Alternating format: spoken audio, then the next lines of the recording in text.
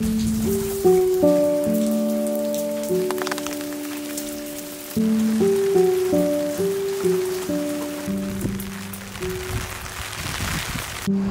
had great ideas for today's vlog. I wanted to vlog outside in the fog, but the rain is not allowing that, especially when you have to carry your umbrella and your camera. It's making it hard. Uh, but I also have to take a trip to Volos, which is a big city um, nearby, for some shopping. And it's a one and a half hour trip from where I am without the fog. But this is what I have to deal with today.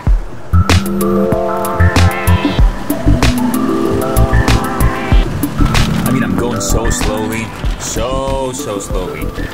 But check this out.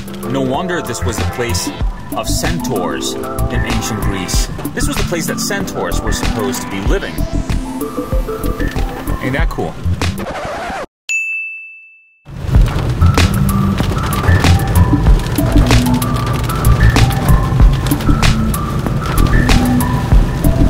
This street is actually legit dangerous without the fog anyways. I'll be switching the camera off and traveling just to be safe.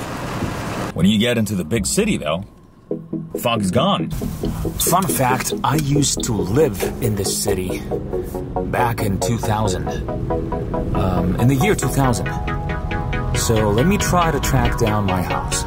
Shouldn't be too difficult. This is a very easy city to navigate. Honestly, I hope the house is still there because it used to be a very small building. I hope they didn't build like a tall building in its in its place. And there it is. Nope, that's my finger. My finger points. Um, yeah, there it is right over there. And my room was actually uh, at the corner, at the bottom corner of the house. So these two windows both belonged to my room. There was a captain that used to live on top. There's another room, and then it's the kitchen. And our kitchen had a small balcony that we never ever used. But yeah. Over here, we used to have two places that used to sell tsukuro. Uh, now only one remains. The other one's a pharmacy, and this one seems pretty closed due to COVID, I guess.